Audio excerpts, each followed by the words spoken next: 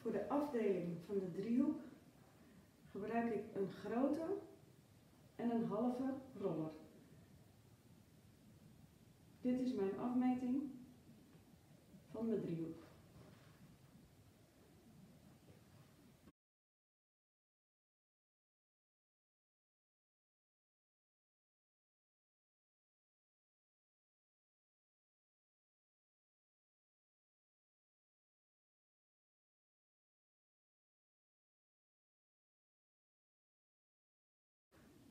Een halve, een hele en een hele met een halve ernaast.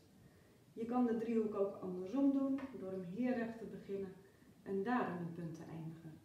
Net wat er bij jouw kapsel past. Voor de oblong maak je een afdeling van ongeveer een halve roller breed. Maak twee rechte lijnen en daarin plaats je minimaal drie diagonale rollers. De voorste pluk kan je een bouclé of een andere erin doen.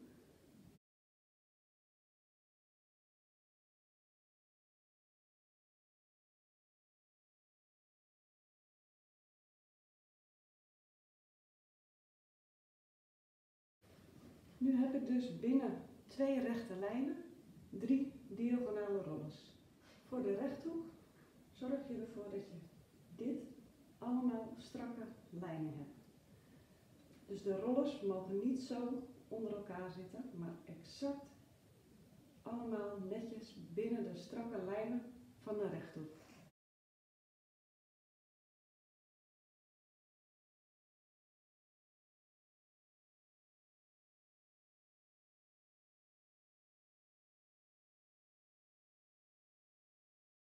Als het haar strak naar achter is gekant, is het lastig om er een halve cirkel van te maken.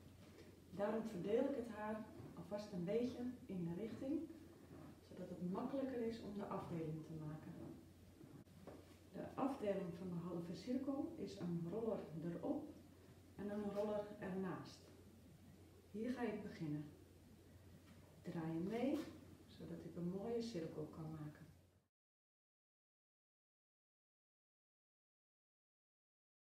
Ook aan de andere kant een roller erop, een roller ernaast, zodat je weet waar je naartoe gaat.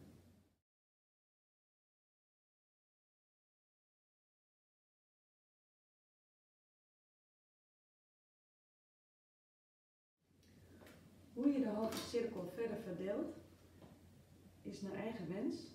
Je kan hem vanuit het midden delen, in vier delen, maar het hoeven niet vier gelijke delen te zijn als ze maar vanuit één punt komen. Ik kies ervoor om deze straks die kant op te gaan draaien. De nieuwe pluk vanuit hetzelfde punt. Gebruik ook zo groot mogelijke rollers ben je zo snel mogelijk klaar. De punten netjes om de roller.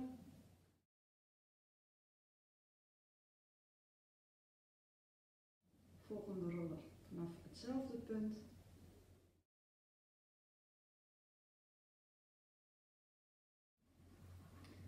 Voorste haal ik iets meer naar me toe, zodat hij minder volume heeft.